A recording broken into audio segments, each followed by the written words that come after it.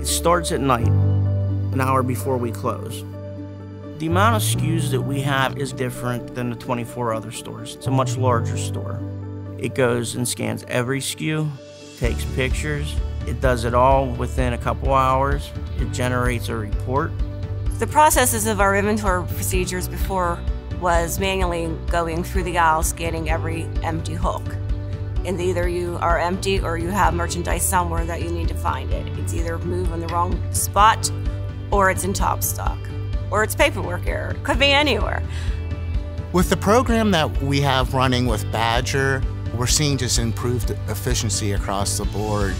Even at our best stores, it would take employees over 80 hours to count our entire store. With the robot, this is done every night. Our employees are then able to take those reports and act on them in tens of minutes rather than hours throughout a day.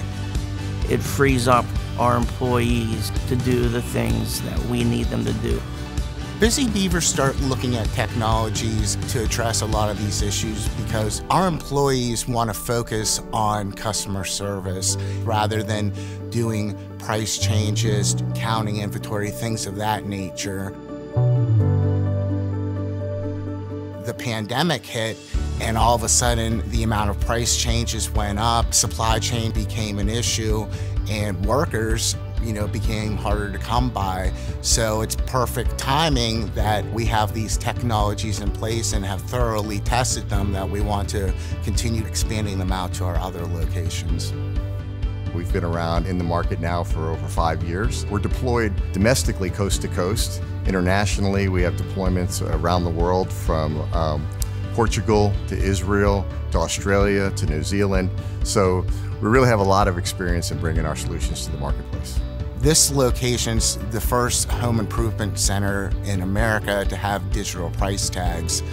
The Badger team was able to work seamlessly with our digital price tag vendor to customize the tags so that they could be more easily read and let our scans be done in a more timely manner.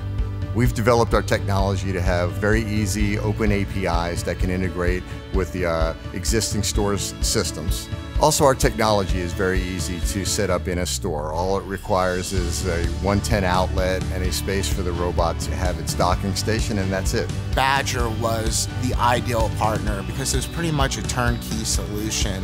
The amount of work that had to be done by our team was very limited in comparison to what other vendors were asking from us.